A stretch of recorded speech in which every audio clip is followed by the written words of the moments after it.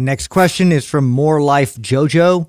In a recent episode, you talked about the importance of introducing new exercises to elicit a new stimulus and to work muscles in a novel way.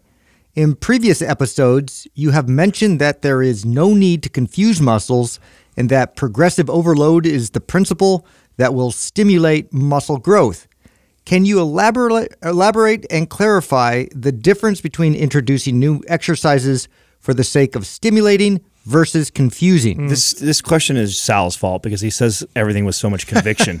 No, no, no. It, se- it seems like the only thing we're, we're confusing is the listeners. That's, that's, you say it with so much You're not conviction. listening. Yeah, you say it with so much conviction that they're like, "Wait a second, is that the truth No. or is that the Yeah. truth?" No, it's it's both. But first off, okay, Right. the the term confusing muscles is a marketing term. Uh, muscles don't get confused. Uh, I don't think they think that way. Like, huh? Yeah, now what's going on?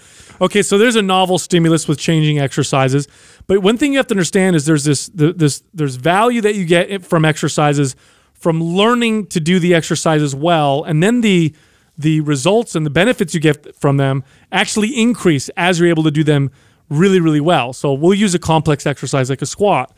When you start to learn how to do a squat, you do get some benefit. You learn how to squat better. You're getting your muscles to fire in better unison and better connection so that you can do the position better. Once you're comfortable with the actual movement of the squat, then you can add weight, then you can really build muscle, then you can really push yourself and get those great results. So there is a, there is a dance between or a balance between new exercises and then getting to the point where you get good at them so you could push the intensity and challenge the the weight that you lift with those exercises. Those are both very important. If you just stick in one or the other, you're missing out. If all you ever do is switch up exercises all the time, you're going to miss out on all those amazing benefits you get from getting good at an exercise and really pushing yourself. If you only ever do the same exercises and you never add any novelty, risk of injury goes up. You can plateau, uh, and you can really get your body to to stop progressing because you're not introducing new movements. I think I remember when we we actually recently talked about this, and I think what what this person's alluding to is when we were referring to like squats, deadlift, overhead press, and like that there's not much need to to move those out of your routine. Right. That and and the, the reason for that is because those movements are so novel and so complex in themselves that you could spend the next four years squatting every other day. Good luck perfecting them. Exactly. Squatting every other day for the next four years and still not have a perfect squat. Mm. Uh, that is why that that make you know this uh, this question c- comes from I think that statement that we made in regards to that.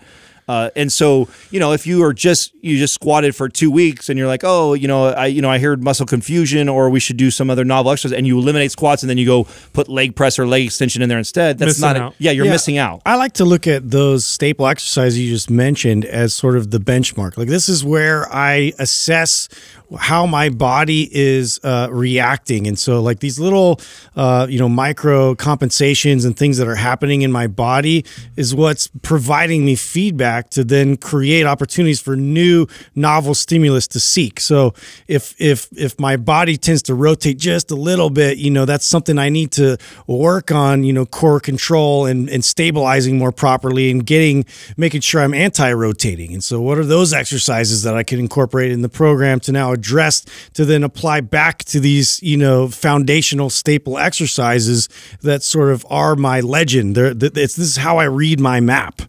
Yeah, I, I, short term, you want to stick to the same exercises. Long term is when you start to introduce uh, novelty with different exercises. So uh, here's a good example: if you were to take, if you were to compare two types of workouts, both three months long, one focusing on the same ten exercises, the other one always mixing it up with uh, a hundred different uh, varieties of different exercises. Okay, the one that stuck to just the ten, you'll get better results. Now, if we stretch this out over the course of a year or two years, and then we compare a workout that only uses 10 exercises to another one that uses, let's say, 30 exercises and throws in and changes things every few months or every you know four months or so then the one that's adding the novelty will start to you know get better results. It, it's a it's, it is a balance but the important things to focus on are get good at the complex movements do those ones often all the other movements, I think you have a little bit more freedom to to to change up. If you have if you have uh, some or most of our programs, uh, this is how th- they're written. Perfect. You'll see that there is a you know we introduce lots of different uh, exercises and novel stimulus and different planes and like Justin's talking about rotational stuff that all gets introduced. But you'll also see through all of them there is a common theme that we never we never abandon squats. We never mm-hmm. abandon overhead presses. We never abandon some of these fundamental movements that kind of belong in, in every single program but there's still lots of room in a workout to still add novel stimulus and different exercises for the you know quote unquote muscle confusion idea for you to do that but still not stray away from the things that are giving you the greatest bang for your buck. Yeah, if you were to follow like our RGB bundle, for example, which is has three maps programs, and you go from one to the other to the other, that's about nine months of uh, of workout programming, and it's got the it introduces new exercises at the right time, and it changes the focus just enough at the right time, so your body progresses through that whole long period of nine months.